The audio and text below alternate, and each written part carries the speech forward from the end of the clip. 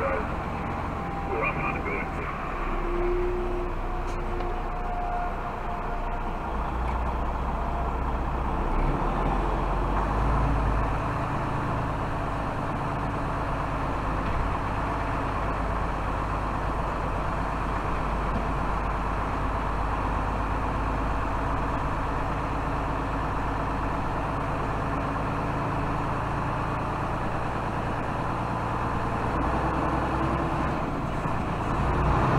And you can hear that driver right there, they sit on the PA, pull behind the building. He must have not had his seatbelt on or some shit.